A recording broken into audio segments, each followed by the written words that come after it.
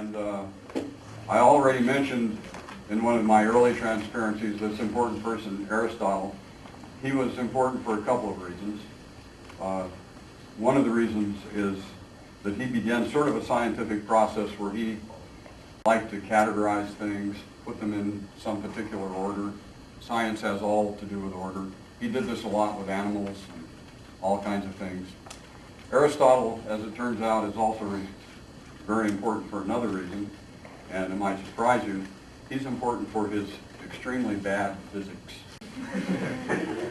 and when you think about it, it's not that I'm calling him names or anything like dumb, but the physics that he came up with, you might argue was sort of the best that that uh, you could come up, up with at the time. And of course, they might be say the same thing about our Nobel Prize winners uh, someday in the far future. But Aristotle's physics theories were very successful in the sense that people, they sounded logical, they depended on reasoning, and so he convinced people that they were right. And it took a long time to get past past this. And so, sort of in the Western world, after the Greeks went away, and we had the Romans and all the other things, uh, we came upon the Dark Ages, and scientific progress stalled. And there's a, I should, there's a caveat to this. It didn't stall completely because this refers to the Western world. In the Islamic world, mathematics and science was picked up. They, they knew what the Greeks had taught, and they carried it on. And so there was progress made during that time. In fact, some important progress. But as far as Europe and the Western world were concerned, this was basically the rule. Uh, there were scientific theories and ideas, such as Aristotle's, that were not put to the test during that time. And so they were just accepted, and uh, there was no progress made. It's very important to know that science makes progress by making a theory, and then a bunch of experimentalists, such as myself, set out to prove that it's wrong. Sometimes people have different ideas of what scientists do, but for a person like me, to show, to do an experiment that shows some theory is complete bunk is uh, the best way that I can make my career progress. So, bottom line is all scientific theories reflect the truth only to the, within the limits that they work. And that means that we expect to replace them all eventually be, until we learn everything. And then once we know everything, I'm not sure what we do at that point, but we won't go into that. But we expect to come up with better and better, better theories all the time. So that's what we work at. Now this is a story of an interesting theory because as you recall from classes back in the Dark Ages, people still tended to believe, at least at the beginning, that the sun revolved around the earth and all of that. And they had a very elaborate, uh, nice mathematical model for that developed by Ptolemy. And it worked pretty well for predicting things. And then this upstart got this better idea because it seemed more philosophically sound to him that uh, the Earth and the other planets were going around the sun instead of vice versa. So he put this theory forward, which was a very dangerous thing to do at, at that time. And it was put to the scientific test, and it failed. People kept using the old theory. Yes? I thought it was Galileo that came up with heliocentrism. This is before Copernicus was before Galileo, and he's the first, the first one that had the idea. He is, and and the question: Does anyone know why uh, Copernicus' idea failed, and why people didn't start using it? It was much easier to understand mathematically, and so on. There's, well, it, the church, independent of the church, the church didn't like this idea. That's certainly true. But people who might have liked this idea and tried to test it found out that it didn't work. And it didn't work because, He used circles for the orbits instead of ellipses. okay, that's exactly right. If you didn't, if you didn't hear the answer, Copernicus had a very nice symmetrical theory that used circles for the orbits of planets and so on, and that wasn't right. The orbits were ellipses. So when you actually tried to do calculations, you got the wrong answers. So it wasn't a very good theory for predicting things. But then a guy named Kepler came along and figured out that, that the planets were actually moving in ellipses, and he uh, made up some rules for how that worked. And people started making big progress after that.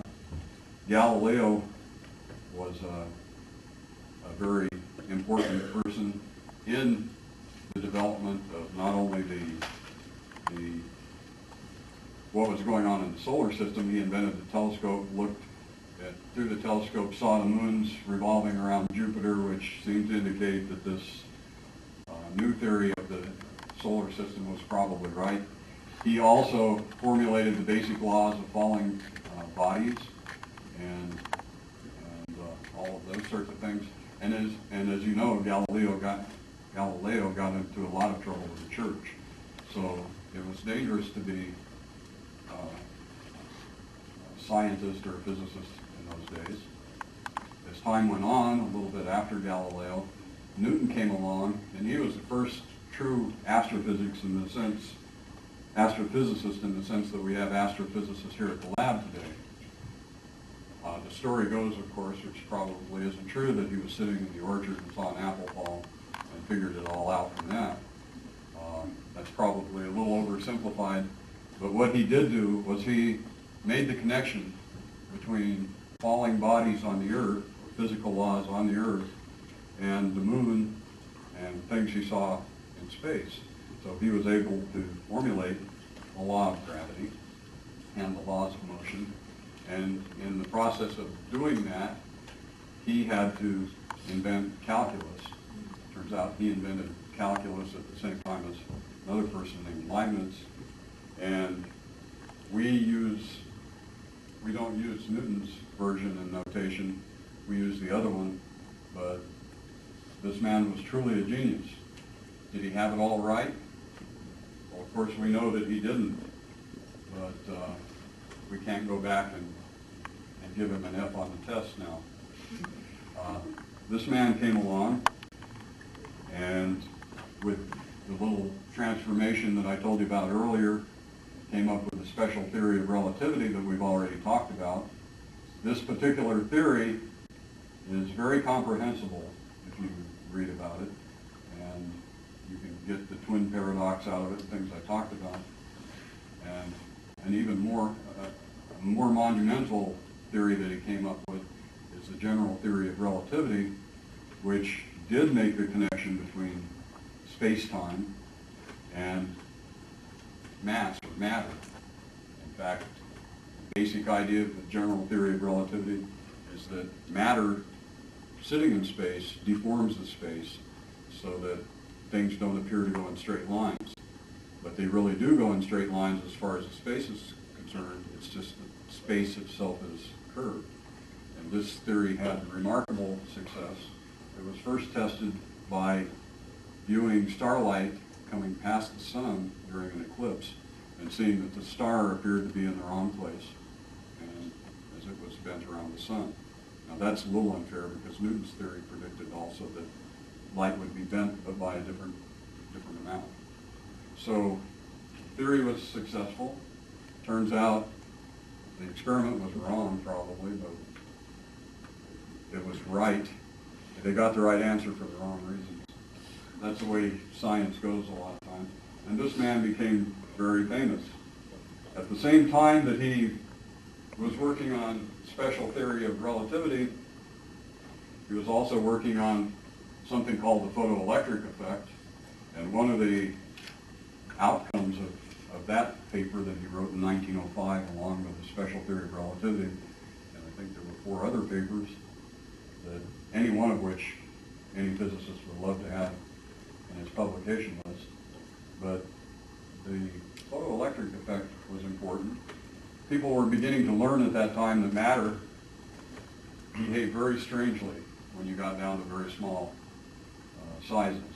And so quantum mechanics uh, was the outcome of all of that effort. And quantum mechanics dealt in probabilities, and you'll have a whole lecture on quantum mechanics.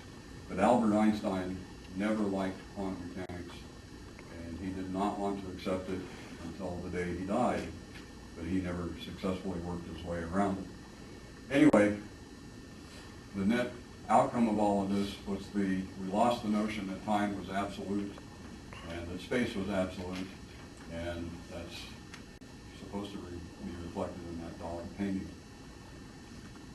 Same time, experimentalists were starting to make big progress in understanding the very tiny things, and that went something like this. The Curies, back during the 19th century, discovered that some of the chemical elements seem to transform themselves by emitting some form of radiation that uh, they studied.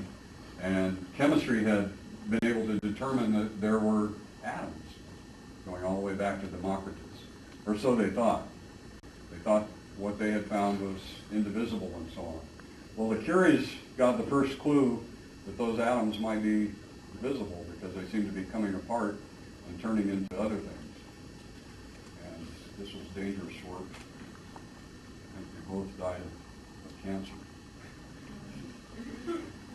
And then right at the end of the 19th century, J.J. Thomson was playing around with, uh, with a cathode ray tube, and he put a voltage across here, and he could get a beam, a beam in there that he could see, and he could deflect that beam with a magnet, and uh, he ended up discovering the electron, which is the first of the truly fundamental particles, as far as we know, that was discovered.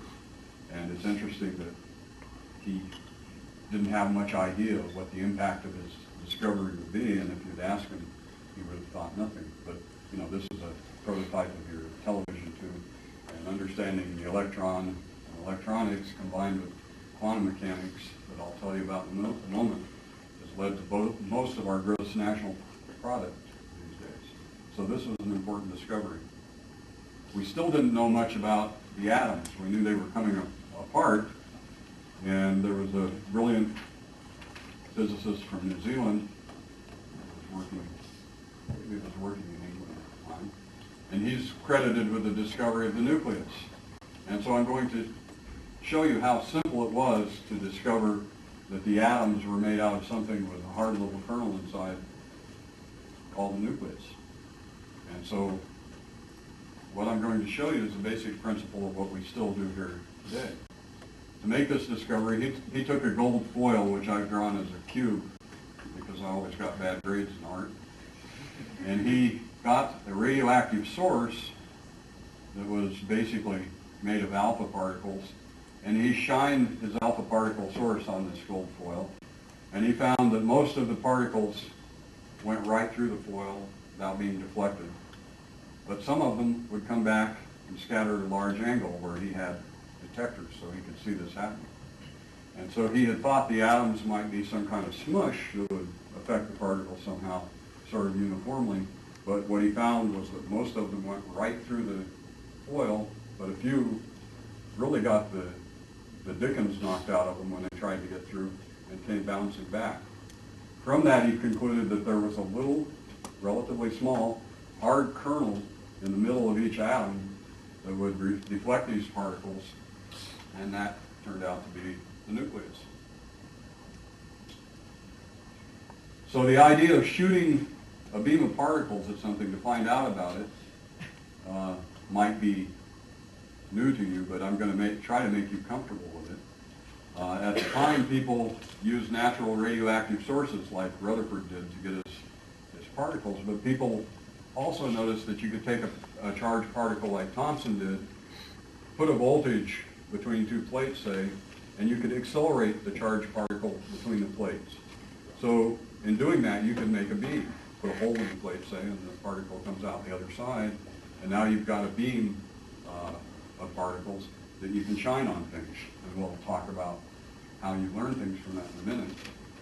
I'm going to skip all the way up to the 1930s now, where uh, Ernest Lawrence enters the picture because he was good at making beams. In fact, he invented one of the most important uh, ways of making a beam that we have. We still use his general principle today. He was from South Dakota, and he was, ended up at, at Berkeley, and he invented the first cyclotron, which was about this big around. I can't remember if I have a photograph, probably not. But uh, anyway, the cyclotron made use of the fact that uh, you could use one small voltage and pass the particles through it many times. And if you phased the voltage right so that it was always the right direction when the particles passed through, you would get an acceleration. And so that became a good source of particle beams, but you could still only accelerate the particles to a few million volts. And what that means is an electron volt is the amount of energy that an electron gets when it falls through one volt. And already physicists were beginning to understand, I'll explain why in a minute, that they wanted these beams to have high energies, millions of volts, or jillions of volts like we do now. And we'll, we'll see why. Anyway, uh, Lawrence was born in 1901. I already did the punchline here. Uh, You should remember Marilyn and Carolyn's birthday. Uh, Lawrence is definitely older than Marilyn and Carolyn. So that's when he was born. And he's credited with inventing the cyclotron, Nobel Prize winner. And he was the thesis advisor our first director here, who worked with him in his laboratory at Berkeley. I'll tell you more about that later. Once you saw that an important part of Rutherford's experiment was being able to detect those alpha particles as they ricochet back somewhere. So you need to measure the angle and what they're doing.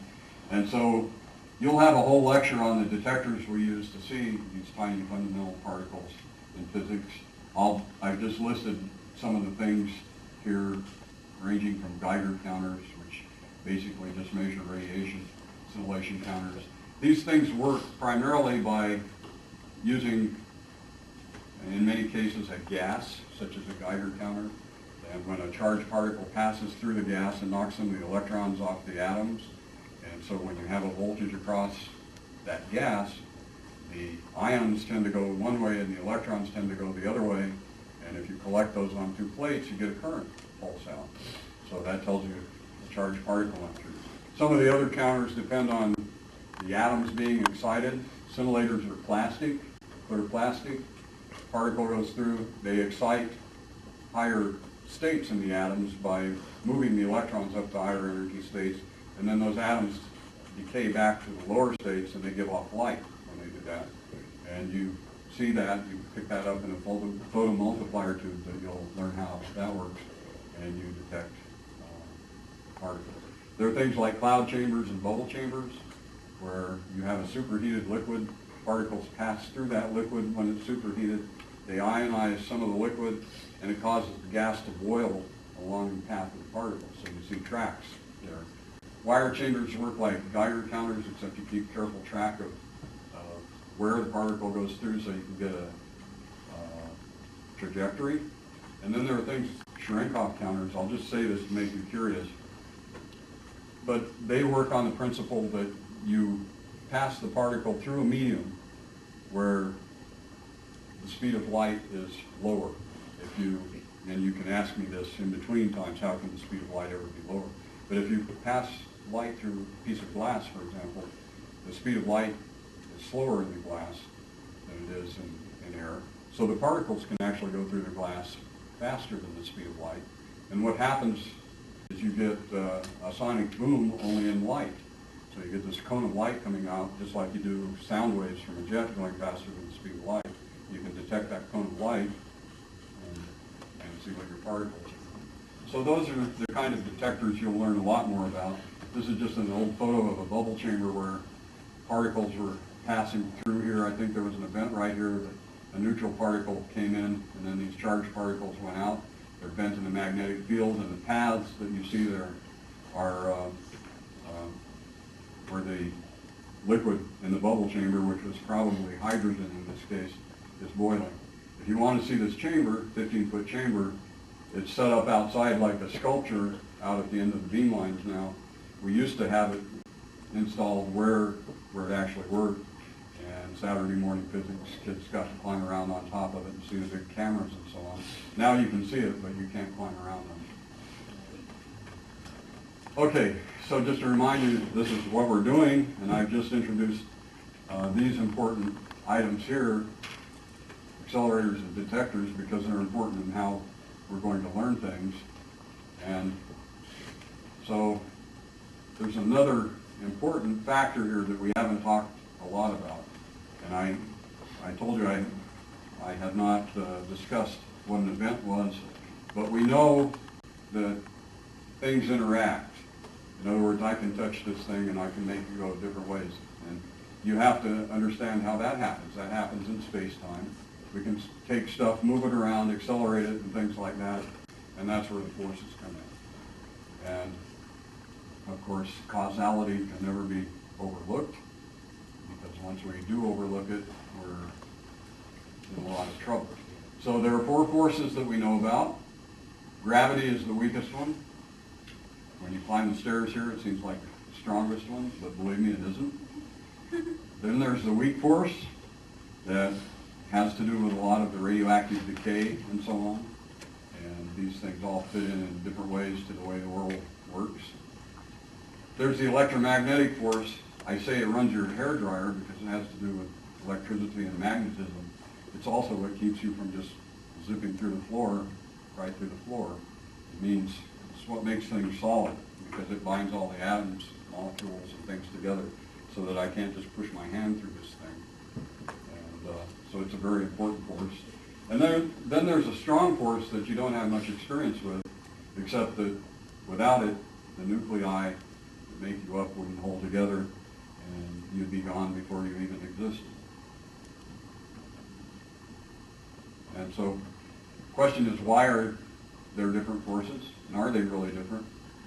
And turns out that we think we know realms in the universe where they're not.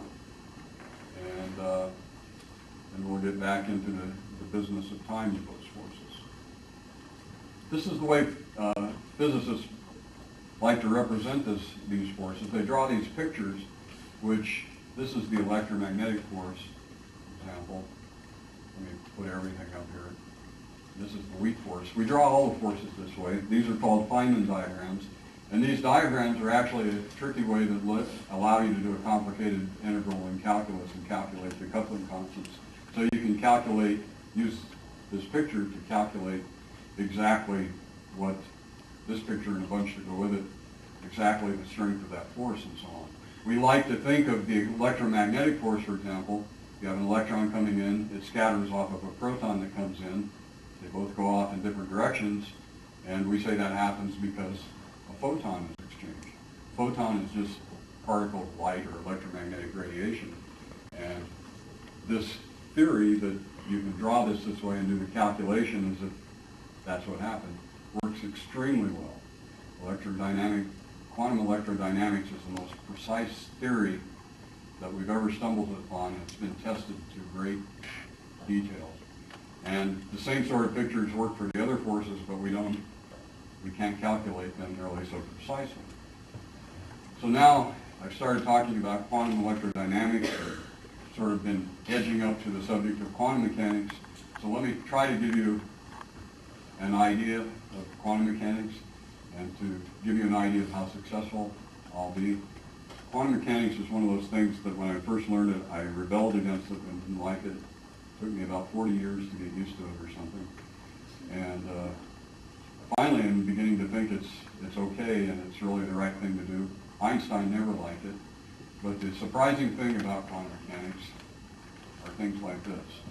If you shine a beam of light on two slits so that the waves then come out from the slits in these spherical, supposed to be spherical bands, what you find out if you put a screen over here is that you have light, light, and dark areas, depending on how the waves arrive at this point, whether the waves are adding up or, or canceling one another. So you get what looks like a diffraction pattern. And this shouldn't surprise any of you too much. This, this happens. You may not have seen it. And with light, we all used to think of light as waves and so on. And uh, so it works. Now suppose we replace this light beam with a beam of electrons. What quantum mechanics has told us is that there's a wavelength associated with all matter, including electrons, that's given by this fundamental constant of nature divided by the momentum. So you want to change the wavelength, change the momentum since uh, we're not allowed to change the fundamental constants. So if you shine the electrons on these two slits, what do you expect to happen? Well, it turns out, not surprisingly, that the same thing happens. You get a diffraction pattern here. So these electrons that we think of as particles are really behaving like waves and showing up as this pattern. So then you ask, well, we can put a stop to that. Suppose we just let one electron at a time go through there, then it cannot interfere with anything, and uh, we shine a very low intensity electron beam on the screen, and one electron hits here every hour, and when we add it all up in the end, what do we see? The waves. To our consternation, we get this pattern.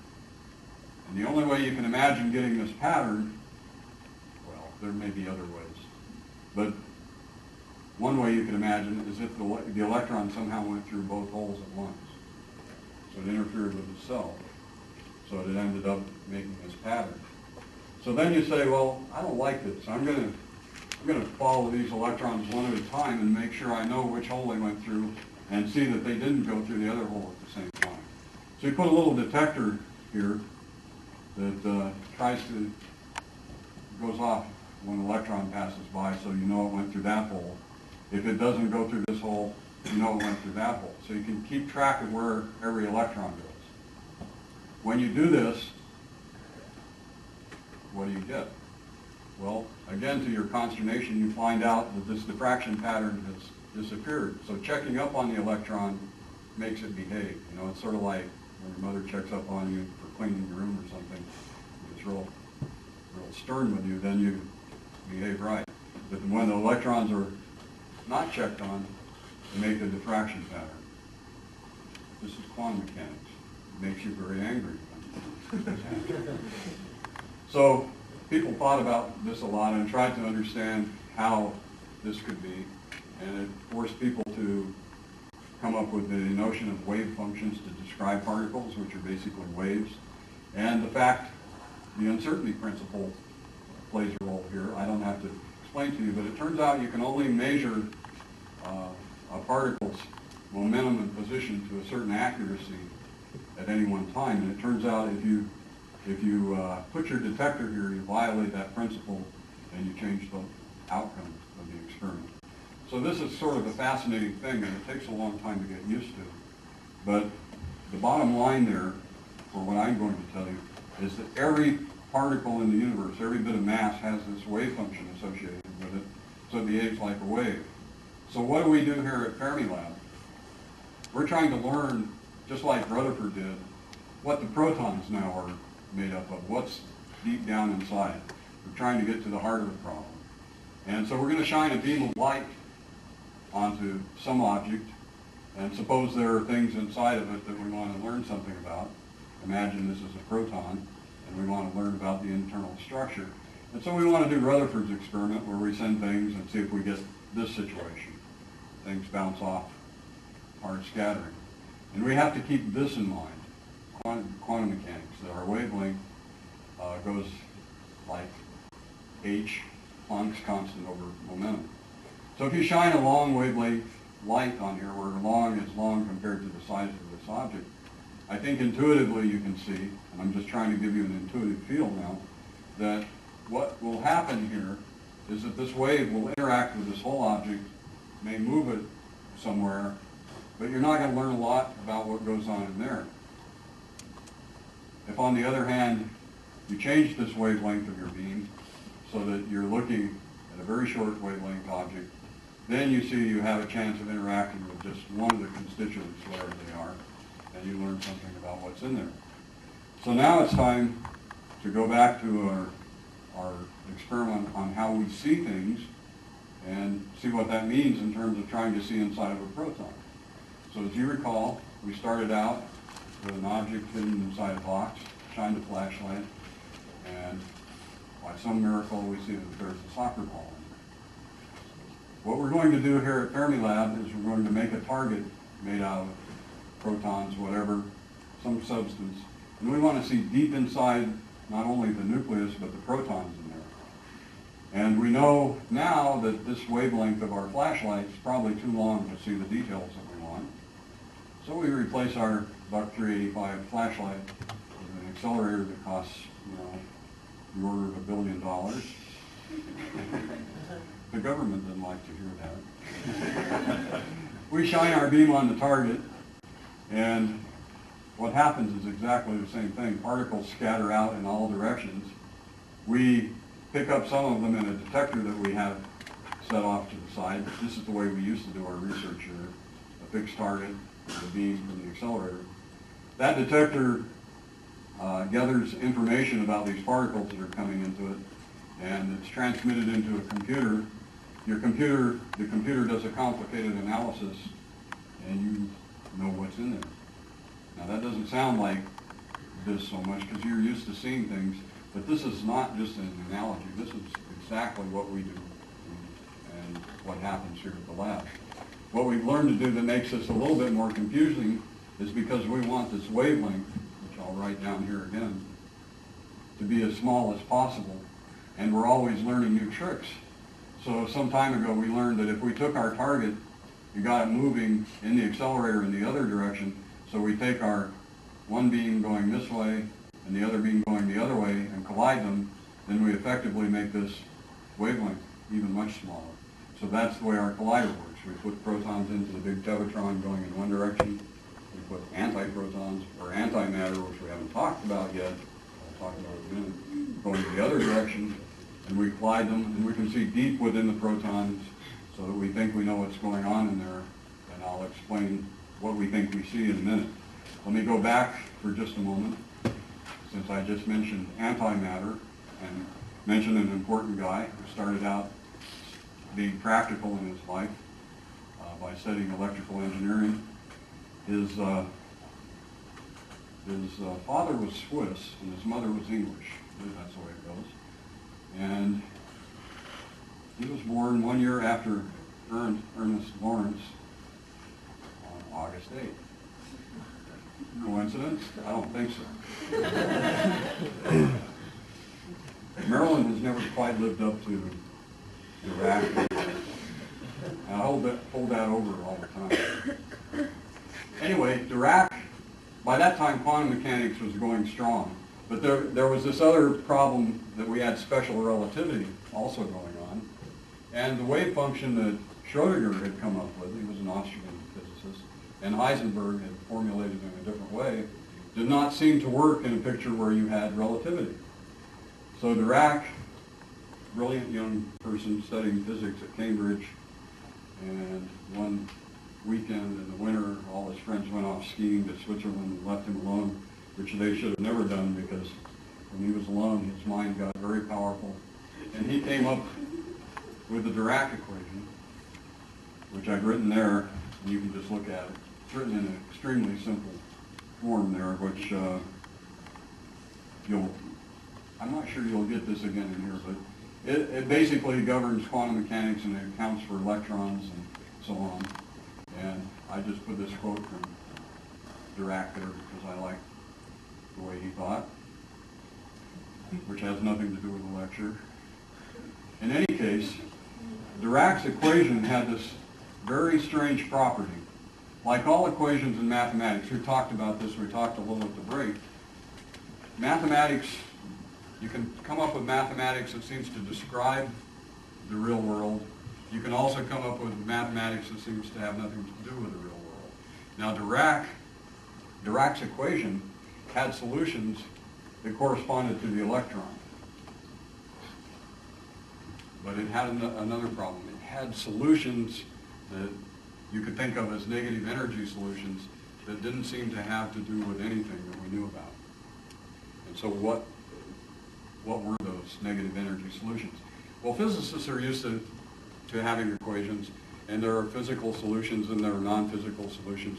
So it was easy to say, well, this probably doesn't have it to do with anything. The equation just has these other solutions that don't have anything to do with the physical world. I don't think that's what Dirac believed. And then something surprising happened in the early 1930s, and that was the particles that corresponded to those other solutions were found in cosmic rays. And those particles had what we say now opposite quantum numbers to the electron, but it had opposite charge, same mass, behaved very much the same way. And this was the first indication that what Dirac had really done, even though he didn't know it at the time, was he had come up with an equation that predicted the existence of antimatter, and antimatter showed up. So what happened in summary was Thomson, as you recall, discovered the electron in 1897. The proton, it's hard to give credit to anyone for discovering the proton. Maybe it's Rutherford when he discovered the nucleus. Uh, in the early 1930s, Chadwick discovered that there were neutral components in the nucleus. So now we're going fast and we're finding out that things deep down in the nucleus are getting a little more complicated. The positron showed up. People began to think about those forces I showed you and the exchange of particles and very uh, clever Japanese theorist, Yukawa, predicted that there was a particle that we needed to exchange to account for the strong force in the nucleus. And so he predicted that. And the next thing that showed up after he predicted it was the muon, which they thought originally was this particle, but then they saw that it didn't have the right properties, and it was nothing more than a heavy electron. So things are getting complicated. Nobody knew why we needed a heavy electron. And we got one whether we wanted it or not. The particle that Yukawa predicted showed up later in 1947 and accounted for the strong force, but not the strong force as we understand it today. Uh, we understand that this strong force was more like a Van Waals force, if you know what that is. If you don't, it's, it's just a sort of a resultant force of the strong force. You'll learn about later in physics. And then something else strange had happened way back in uh, 1930. When people were carefully studying beta decay, they discovered this problem that when a neutron decayed into an electron and a neutrino, uh, and you added up all the energies and momentum and so on, energy and momentum weren't conserved. And this was devastating because we had this conservation of energy law that we didn't want to give up because it seemed to throw everything into chaos. And we didn't know how to change the laws of physics to accommodate this. So in desperation, Pauli predicted that there was some little neutral particle that was escaping from that decay that we weren't detecting. He didn't like that solution because nobody knew how to detect that particle. And we've gotten into that situation a couple other times in physics. And you never, it's very unsatisfying to think that there's something that you, you can't see. People really tried hard to find it, but it took a, a long time. In 1956, in a nuclear reactor, Reines and Cowan finally detected the neutrino, and that's developed to the point where we now send a neutrino beam up to Minnesota uh, every few seconds when we're running our beam. And so neutrinos are relatively well understood now, and you'll learn a lot more of them in the lecture. So I've taken you to a point where a lot of things were showing up, and one of the things that I didn't mention were these strange particles. People looking at cosmic rays started noticing that there were these strange V's in the cloud chambers and things, and they didn't seem to correspond to any of the known particles when you looked at the effective mass that they were and so on. So they kept looking for more and more of these things. They started building bigger accelerators, and the more accelerators they built at the universities and so on, the more of these odd particles they found to the point where chaos sort of reigned. There was a lot of confusion. And everybody had learned the trick of making the wavelength smaller. And so they thought the only way to get to the bottom of this is we've got to get together, make a really big experiment, too big for to build at a university. And uh, big enough that university people could come here, do experiments, and maybe sort out this uh, confusing problem that was, was going on at the time. When this all happened, the, in the Soviet Union, they had built a machine that was about uh, 70 billion electron volts, which was bigger than anything we had by a little more than a factor of two. And they were trying to do physics with it over there. We had to have a bigger one, so it goes back to the thing about guys, you know. So anyway, group of universities got together, Universities Research Association, and contracted with what was the Atomic Energy Commission at the time, and they ended up hiring a director, Bob Wilson, who had worked with Lawrence at Berkeley, had worked on the Manhattan Project, and he was both a physicist and an artist.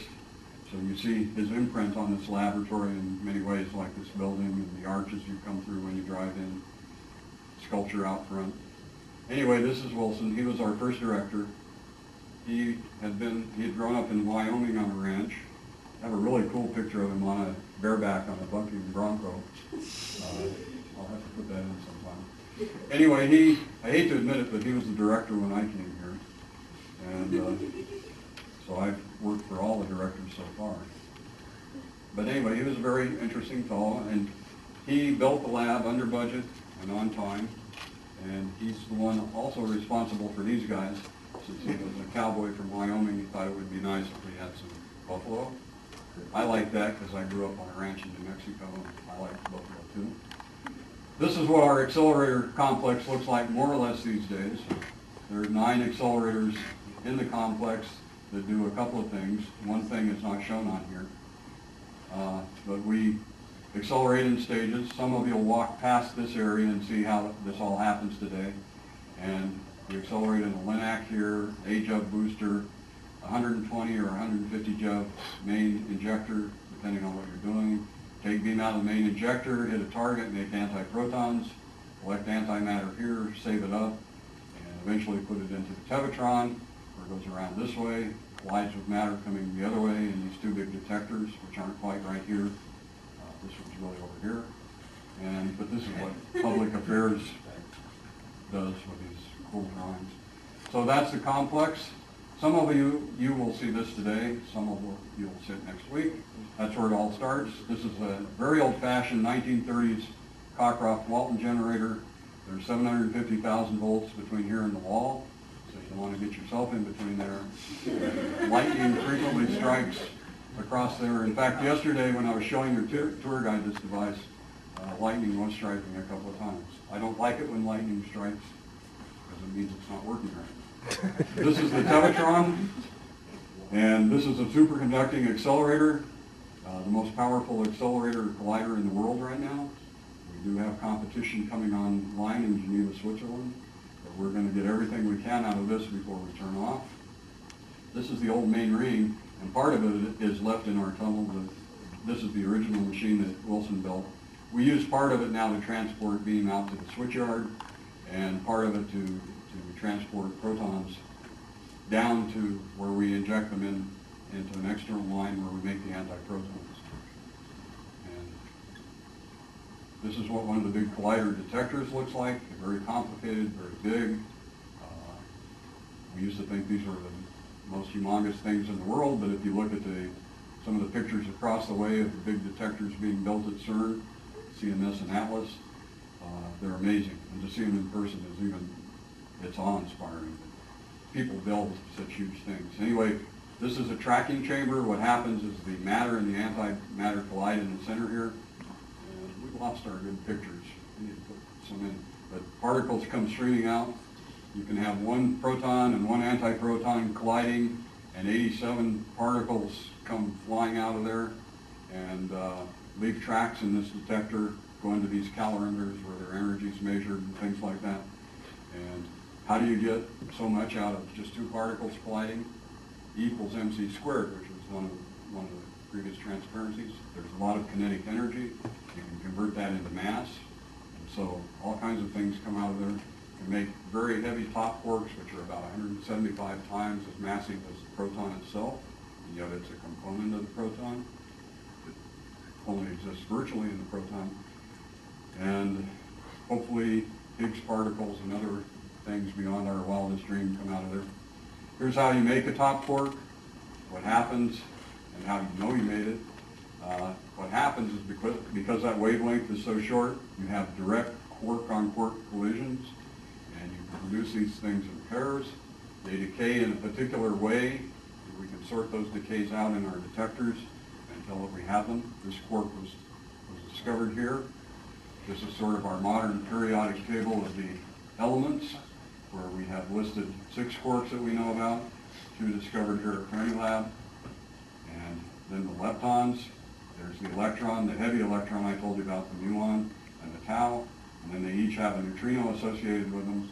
And over in this column are the force carriers that are like the photon that I showed you, and I also showed you uh, force with W. So these are the ones we know. We know this picture is not complete. Uh, we suspect that there are other things that you'll learn about, like the Higgs particle.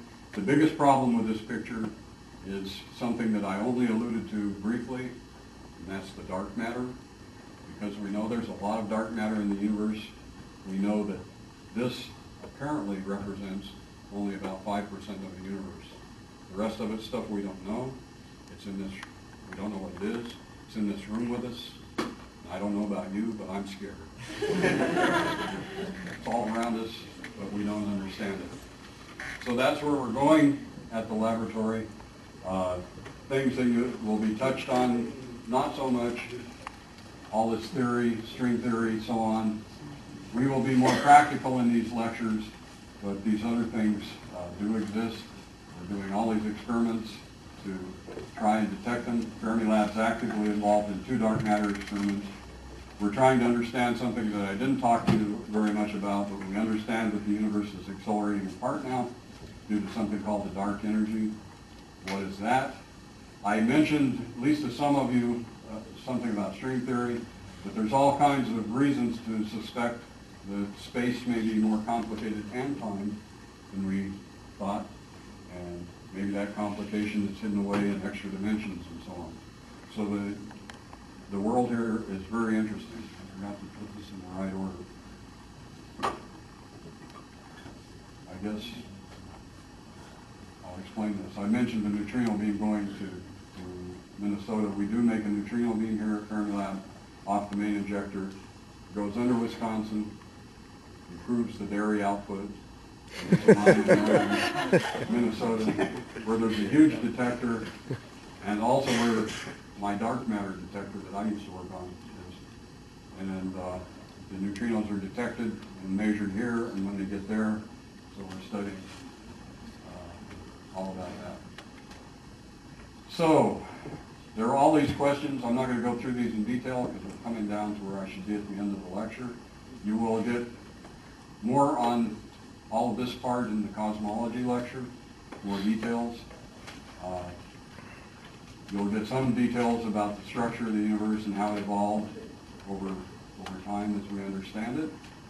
Turns out that Fermilab is involved in uh, the Sloan Digital Sky Survey, and let me just skip ahead to show that. Part of the game here is we're trying to understand the universe from this hot big bang back at the beginning. And in the Tevatron, we create temperatures that go back to the order of a trillionth of a second after the Big Bang. Can see what was happening with the quarks and the leptons there. And then this all somehow evolved into the structure that we see today. And to sort that out, one of the experiments we have done over the last few years with a lot of universities, of course, involves this telescope in New Mexico, Apache Point. This is one of our former directors.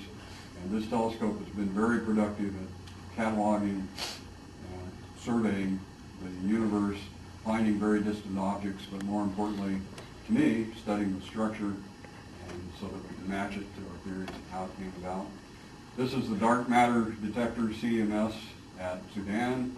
It was the most sensitive de- uh, detector in the world until a few months ago, but uh, some xenon people took the record, but CDMS is coming back. Works with little hockey puck type detectors that are cooled down to about 50 millikelvin, which is fifty millionths of a degree above absolute zero. And placed at the bottom of this dark mine, this is a crystal. What you do with the crystal is you listen for the dark matter to interact in, one of the nuclei in the crystal, sort of rattles the crystal and produces phonons, which come to the surface, surface. You measure those and the ionization, and you can get a background-free detector.